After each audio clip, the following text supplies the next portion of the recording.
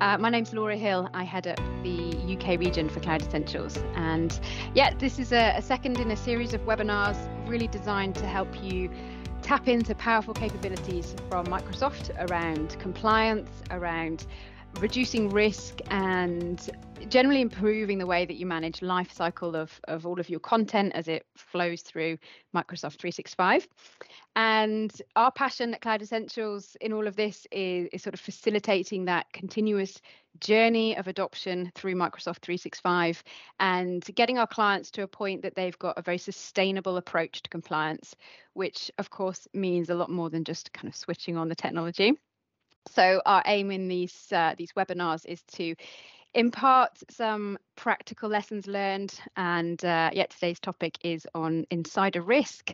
So we'll get stuck in. Um, so what is insider risk? This uh, gartner definition is as good as any um, for the context that we're in which is the tools the capabilities to measure to detect and contain undesirable behavior of trusted accounts within the organization. So, you know, we're talking here uh, about consciously sort of looking inward, looking at leaks of data, looking at breaches of confidentiality, um, IP theft, fraud, insider trading, uh, breaches of, of regulations, breaches of policy, um, very sort of intentional, malicious, all round dodgy behavior. Um, but also maybe inadvertent you know genuine mistakes ignorance a a lack of consciousness perhaps um, amongst employees and, and third parties that interact with your organization um, that yeah leave leave you exposed um, especially with all of this sort of ease of collaboration and remote working that of course microsoft 365 facilitates. So the the focus is on the use of microsoft purview capability to really tackle insider risk. And you know we know that microsoft 365 is not your sole information world um, but it's likely that you're here because you're really on a growth curve with Microsoft 365. You know, activity levels have ramped up, are ramping up. Collaboration uh, is ramping up. The, the sheer amount of content that you are churning in Microsoft 365 is really growing. Um, and you've likely already sort of invested heavily in those foundations around your security and compliance settings in 365. And yeah, Microsoft is um, uh, the pace of development around the the purview stack is is very fast uh, the solutions are very feature rich so it really is a great place to to start and sort of trailblaze your approach to, to tackling insider risk um, if you've not um, been focused on it previously and uh, sort of engage in the technology, but also start to build people and process around it um, as you sort of scale out how you're using Microsoft 365. So and that's sort of the theme and why we're here today. Uh, the format for this session together is really some sort of familiarization around the capability available to you in Microsoft 365 and to bring some tips for implementation of a, a program of work around it. So we're going to be muted for the delivery of the presentation content for the first sort of 30 minutes or so. Uh, my colleague Johann, who is our head of cloud, is going to give us a tour around the feature set. And Idayat is here from Microsoft Microsoft as a compliance black belt to also talk about um, sort of best practices around successful implementation. Uh, so we'll work through the presentation content and then we're going to stop recording, come off mute and just facilitate a bit more of an open forum. So please bring your feedback, bring challenges that you've got to the table, um, ask any questions. Feel free to type any questions as we go into the chat um, box and we'll pick those up. Um, you know, we've got uh, various different industries represented in the audience today, a mix of professional roles as well, which is great to see. So please do sort of use that time to engage with us and, and, and others um, in conversation around this, this topic. So, for those who don't know us already, um, just a quick context, I suppose, for where we are approaching this conversation from. Cloud Essentials are a Microsoft partner around the area of content management. So we help organizations mature their approach to reducing the risk profile of content in 365, um, migrating content in to the platform and managing that content cost effectively and in line with um, best practices around lifecycle management and also ultimately sort of opening up the value in that content so that you can you can really surface it uh, for your business advantage. So in this series of webinars, we are gradually working our way through the Purview offering. Uh, if you list, uh, missed last month's uh, session on information protection. Um, we can put the link for you uh, in the chat. And coming up uh, next month is a session on Compliance Manager. Um, Chris Hathaway is going to show us sort of how to use the Compliance Manager toolset to take stock on your progress um, and your maturity levels of, of kind of your compliance controls and uh, actually use it as an interface to kind of forge a, a, better working relationship between IT and, and risk and compliance roles to sort of make some tangible progress. Um, and the session after that is going to look at e-discovery, where our colleague Adam Bown um, is going to help us sort of navigate the the search and e-discovery stack um, in 365 so from the sort of base level search through to more advanced e-discovery. And then because of his uh, specialism around uh, forensics really understand the point at which the microsoft tools can get you to before perhaps you pass downstream into external legal counsel or deeper forensic tools um, etc so yeah hopefully you can tap into those sessions as well so uh, around insider risk, you know, in our experience around deployment of some of these features, um, things can sometimes be hard to get off the ground, uh, or they they can lose momentum. And so on on reflection and kind of preparation for this session today, um, we we were looking at sort of where the missing pieces were, maybe in uh, in where initiatives around insider risk lose momentum. So we just wanted to kind of call those out um, from the off. And the first can be a missing piece in your reasons why. So you're obviously looking to tackle insider risk because you know there are threats not just from the outside world in you know you're acknowledging the insider risk where there are vulnerabilities in how accessible your data is and the fact that employees or third parties that have got access you know they've got the inside track. They know how to circumnavigate policies. They know how to move data around. Um, and also you've now got all this sort of access to very clever machine learning um, to detect um, insider activity. Um, but that doesn't necessarily mean that you are sorted on your kind of roadmap to a uh, insider risk program and we see things drift where there is a lack of absolute precision around what you're tactically trying to achieve and that can also make it harder to justify an appropriate level of budget allocation to this because deploying insider risk features, it does require investment in, in licenses, in time, in sheer effort. Um, and so when your objectives are not crystal clear, you know, we are trying to prevent X because the implications of X are Y. You know, without that real cornerstone, um, we have seen things maybe just don't quite get off the ground, or maybe an organization sort of misses some quick wins because um, there can be a lot of distraction about the potential in the technology. The next area of weakness that we sometimes see in programs around insider risk concerns the who um, you know this is this is not an IT gig. And in fact the common thread I think through this whole series of webinars that we're running is that we want you to learn from the mistakes of others who have attempted to tackle their compliance journey in Microsoft 365 by IT teams really striving to make headway with the technology without sort of formally um, creating this committee around the technology that consists of HR, um, of risk, legal, compliance, governance, these sort of decision makers um, that will steer things. And things really, really ground to a halt um, where there, there isn't that in play. The third area concerns the when, um, which can also trip things up. So yeah, our, our, whole offering around compliance in Microsoft is about facilitating these um, stepping stones against a, a, very clear roadmap, you know, this sort of logical sequence of progression for adoption.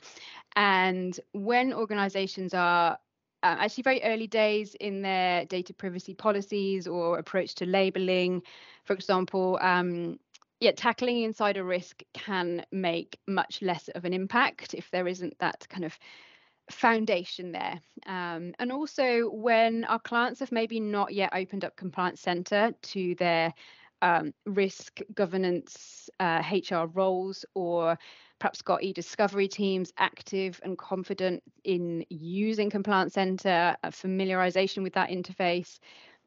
That is also an indicator for us that this journey with insider risk might just have to take a bit of a step back um, before it can accelerate forward. And then finally, the how, which is the reason we wanted to run this session. Um, you know, the journey does need to start with that familiarization of the technology. Um, so you can enjoy that introduction from Johann shortly. Um, but also just to mention, we do see a difference where there is little or no provision around training to use the technology. So yes, there's a wealth of learning resources available, the templates are available, um, but because the things that um, the features will sort of pick up on in your environment are going to be really unique to you, you know, your activities, um, your settings, your content, your policies, uh, your workflows. Um, there's a very unique learning curve to be factored in until you sort of get things um, settled with your approach to insider risk, and then it's a case of you know maturing it all over time. Um, so sometimes we can see a bit of a mis- misalignment there on expectations on that learning curve, um, which is definitely another kind of kind of hazard that we see um, with these initiatives but when it's running it's really powerful. So the the rest of the webinar is going to focus on um, how to make your approach um, a success. So i'm just going to hand over to johann for the next section. Thanks laura. So in my se- section of today's session i'm going to give you an overview of the purview insider risk management solutions broken down into three areas. Firstly where to find it then what it does and when to use it and then just an overview of what it actually looks like within the Purview Admin Center. So obviously, both the solutions, insider risk management and communication compliance are part of the Microsoft Purview family of solutions and managed from the Microsoft Purview Admin Center. Um, both solutions, insider risk management and communication compliance, um, requires any of the licenses that's currently on screen. Um, it is advanced security and compliance features within the Microsoft solutions. So these are, it requires more than the entry level um, licenses, um, but there are add-on uh, available. So you don't have to have the full E5 suite. You can have a combination of either the Microsoft E3 and then the, uh, the relevant add-on or the Office E3 package and also then the add-on. So there's flexibility when it comes to licensing to utilize um, both of the solutions within your organization. The next session, uh, section is what it does and when to actually use it. So starting with insider risk management, um, it is designed to manage and minimize, minimize risk in your organization. And it starts with understanding the types of risks found in the modern workplace. Users in the modern workplace have access to create, manage, and share data across a broad spectrum of platforms and services. In most cases, as Laura mentioned, organizations have limited resources and tools to identify and mitigate organization-wide risks while also meeting user privacy standards. Insider risk management uses the full breadth of services and third-party indicators to help you quickly identify, act, um, and investigate risky activity. By utilizing logs from Microsoft 365 and the Microsoft Graph, Insider Risk Management allows you to define specific policies to identify risk indicators. These policies allow you to identify risk activities and to act to mitigate these risks. Insider risk management is built around the following principles. Firstly, transparency. It's a balance of user privacy versus organization risk. where the design and the architecture around insider risk is built on privacy by design. Configurable and customizable. All the policies comes in a template format, but it's fully customizable to align with industry, geographical, or business group requirements. Integration. Insider risk management is fully integrated across various workflows within the Microsoft Purview solutions, thus having uh, integration into e-discovery um, and case management, as you'll see further on in today's session. And lastly, actionable. Um, it provides you insights and enable your reviewer to review alerts, notifications, and to investigate uh, the cases of insider risk within the organization.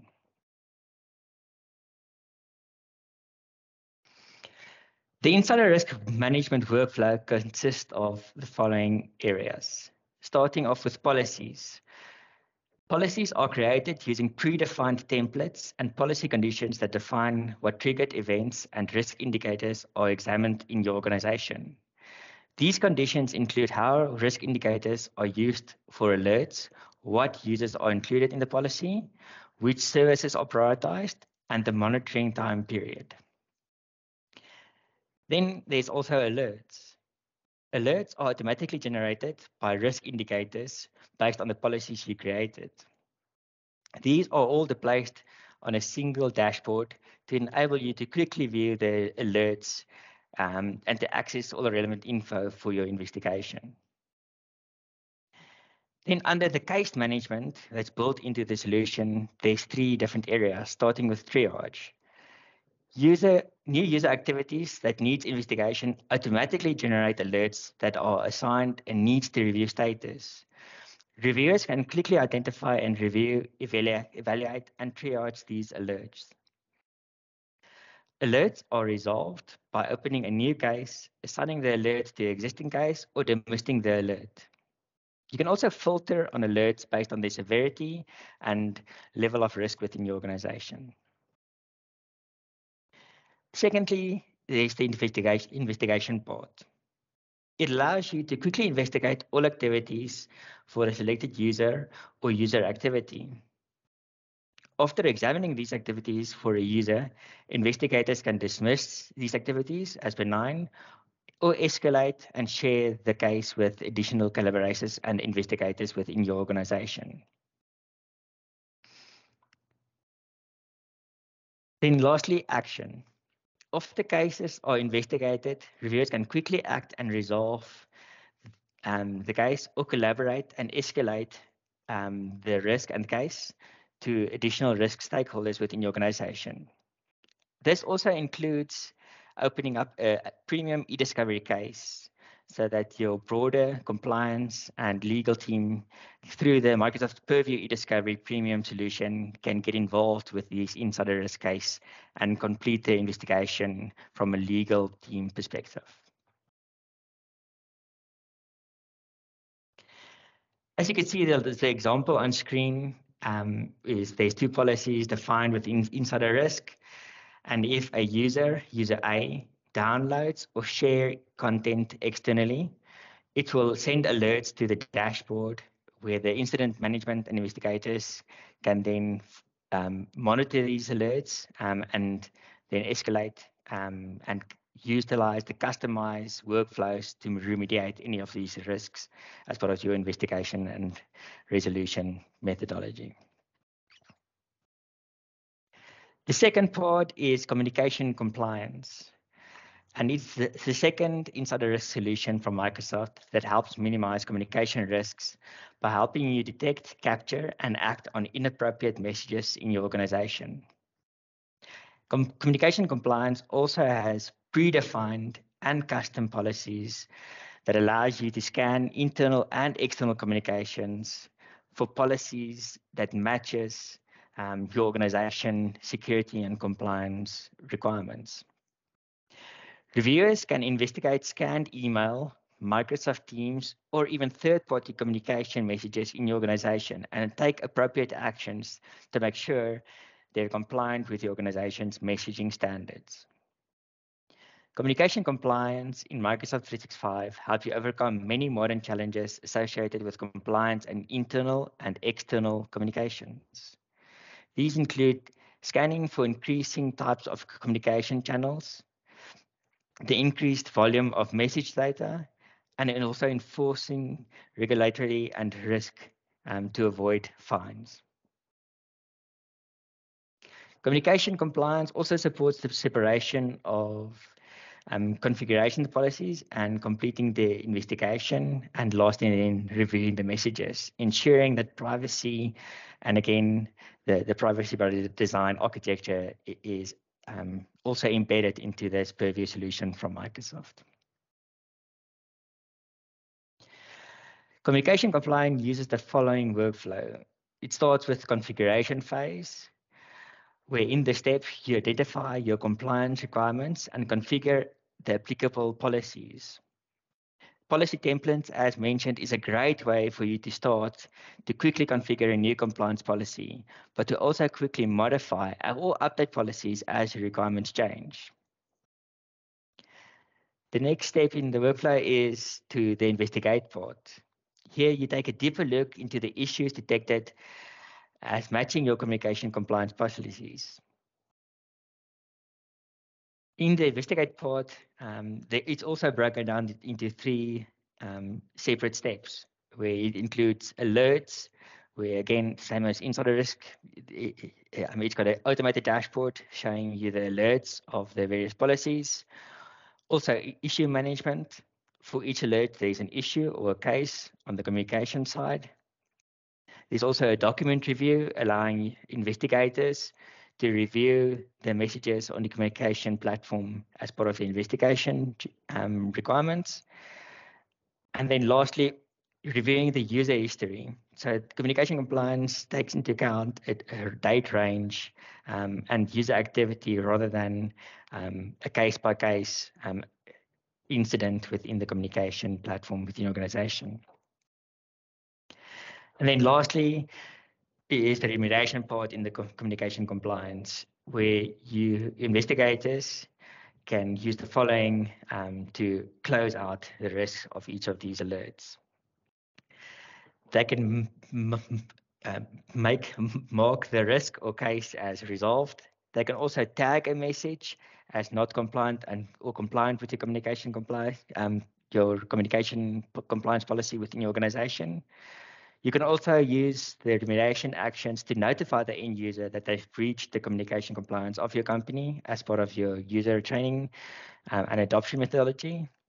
And again, the same as insider risk, you can escalate um, the cases um, within communication compliance to the e-discovery team within Microsoft Purview eDiscovery Premium so that it forms part of the end-to-end risk um, investigation and workflow within the organization.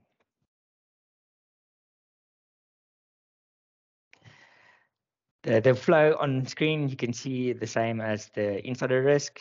Um, there are two policies defined and communication compliance randomly um, captures um, communication logs from the audit log within the Microsoft 365 tenant. And then authorized reviewers has got access to then um, review these alerts um, through the communication compliance dashboard. And then based on the investigation and risk, flag and um, utilize custom workflows to remediate or escalate any of these policy breaches. Lastly, for today's session is just what it looks like. So a quick run through of what it actually looks like. So starting off on your insider risk dashboard, when you haven't configured it or first time you access it, you get a list of top recommended actions that all organizations needs to go through. And depending on where you are with your maturity around other compliance um, and uh, Microsoft Purview solutions, you might have already completed one or two of the pre-configuration steps within Insider Risk Management. Once you've completed the initial um, configuration steps, um, you'll get a um, Insider Risk Analytics dashboard that gives you um, a list of potential data leaks within your organization based on analytics and machine learning that Microsoft used in the backend to look for possible exfiltration, uh, exfiltration activities within your organization.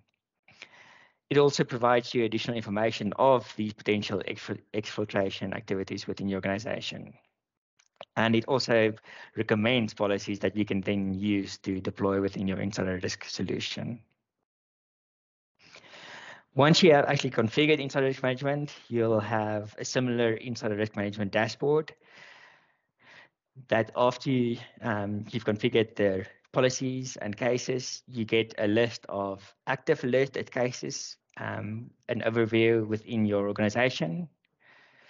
You also get a list of active cases, and also users associated with um, insider risk within your organization. And there you can see where the data is um, anonymized for privacy within your organization.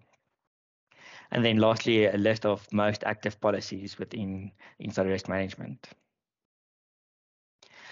Um, on the alert dashboard, you get a um, you'll see a, um, alerts needing review within the, your organization and also their severity level and also an indication of alerts over time. So not only a, a specific a period, um, sorry, a specific day, but really a, a, historic view of the organization and the risk for insider exploitation. And then lastly, a dashboard of alerts and details, um, such as the status uh, and where the severity also provided at the bottom. Um, on the cases view, um, you get a list of active and closed cases, and at the bottom, um, you'll also get a list of um, closed cases. And then also, if you click on any of the particular cases, you'll be able to open up the case for more detail. And there you'll see useful insights, including the user's activity over a specific period, um, as shown on the timeline. And these enable the organization to take the appropriate action over a period of time rather than only a specific event around data exploitation um, and, and protection. You'll also get a detail um, of the activities and which triggers these alerts. So you'll, you'll see the user on this example downloaded content, a lot of files to a USB device uh, and thus triggered the alert. Then also within the case, you have access to Content Explorer if you have the appropriate permissions within um, Purview Insider Risk Management to actually see the content related to the case, um, whether they are actually confidential or not. And all this information allows you then to um, complete the investigation as part of your insider risk management solution. Um, here I'll hand over to Idayat that will discuss the top eight tips for your success using insider risk management program. Thank you. Thanks, Johann um, for giving that elaborate um, on how we can actually implement information risk um, management itself. So ideally, um, the very first thing I usually like to say is that governance is quite important. Technology can't work on its own. We need people, which are one of the greatest assets an, an organization can have. We need the right people, the right processes within the organization itself. And then the very first question you should ask yourself is when, when it comes to managing insider risk management, what level are you? What position are you right now? Are you being proactive or are you being reactive? But then in establishing an, uh, a robust internal threat program, you need to first identify the potential insider risk within the organization. And how are you able to identify the potential insider risk in your organization? You need to be able to know because your insider risk actually varies across. It could be your employees within your organization. It could be the contractors you have within your organization. It could even be the vendors or your through your supply chain um, supply chain channel that already have access to your organization. And why insider um, the insiders are actually of major attacks or major um, risk to the organization is because they already know what your environment looks like. They already know your security landscape. They can they they already know the loopholes within your organization. They know how to actually circumvent, um, how to actually maneuver within your security itself. So, and most organizations tend to forget about they, they're already always targeted at actually looking out rather than actually looking in. They, they implement, they invest in a lot of technology, looking at okay DLP and the likes, preventing um, critical data from being sent out while actually ignoring the risks they have within your organization. So the very first thing you need to do is actually what are the critical assets you have within your organization? What are your crown jewels? And after identifying this critical asset that can um, land your organization into trouble, like penalties, fines, data breaches, then you now start to look at okay, what are the potential insider risks within your within your organization. So because if you don't start from the foundational level of identifying what these risks are, then you don't know how to move the next step. You don't know how to move up the next ladder to actually determining how you can prevent this insider risk or how you can detect it or how you can contain it. And I know Johan has talked about the technology itself, which is really all about how we can actually manage the insider risk. But one thing we need to look at is let's let's have the right governance within the organization and also how you can actually have um, a very successful insider risk management program within your organization is the fact that you have to have a very solid governance. And what do I mean by solid governance? You need to actually collaborate with the right stakeholders within the organization. You can have a successful insider threat program if you're not collaborating with other relevant departments within the organization. Because fine, we know that the IT, the InfoSec would actually implement the technology, but they can't do it on their own. So you need to bring in teams like legal team. You need to bring in HR team privacy team, corporate security, even the business, because at the end of the day, it's the business um, department or the business leadership team that will sponsor your program itself. So because it cuts across, when we're talking about risk, ideally in an organization, um, risk, risk is actually cut across different departments. Not just one department is managing the risk because you have HR risk, you have privacy risk, you have even business risk, even physical security risk. So that's why you need to enable, you need to partner with all of the departments that I've just mentioned to ensure you have um, a very robust in, um, insider threat program as well. So also you need to be able to, and I usually say this thing, um contextual training. And i'm not i'm not just talking about annual training right? You know the usual checklist we have within the organization. You need to be able to and now i'm talking about how you can prevent insider risk. Are the employees or the users within your organization are they cybersecurity aware? Because at the end of the day the technology might be great but most of the attacks we see right there most of the data breaches we see out there it's usually emanate it usually originates from a user someone that did something wrong, someone that did some, someone that clicked on something they should not actually have clicked on. So ideally, um, the power of contextual training is quite important. Are we giving our users, are we giving our employees, like when they're interacting with confidential documents, are we giving them that policy tooltips? Are we giving them that contextual training, like, oh, you're you're sending a confidential document to an external recipient. Do you want to label this file? Do you want to check this recipient? So at the end of the day, over long term, um, security and compliance become second nature to um, the users within the organization. But what is most important is ensuring our users are cybersecurity aware, because at the at the end of the day, you could you could actually have a user perform a malicious activity, and you could have a user just perform an accidental error, an inadvertent activity. So you actually need a technology in order to be able to detect um, or to differentiate between a malicious activity and also an inadvertent activity. So ideally, your governance is quite important. The people, the process, and the technology works hand in hand together. And also talking about the technology itself, within the insider risk management, we have the um, what's it called the um, out of box policy template that can allow you quickly detect data um, exfiltration, data leaks by disgruntled employee, which is like a quick win for you in order to actually see what is happening within your organization. And also we have the analytics scans that actually scan what your users are actually doing. So you can actually create much more stringent policies to help you prevent or even contain insider risk as they occur as well. So um, at the end of the day, people, process, and technology actually want, works hand in hand together. So you actually even knowing your your critical asset is the very first step up the ladder. And then you identifying your potential insider risk and also working across relevant stakeholders that will help you manage this risk together. And that's how you can actually have a robust insider threat program. So I think I'll hand over thanks. to Laura here. So um, yeah, um, thanks, Ida, and thanks, Johann.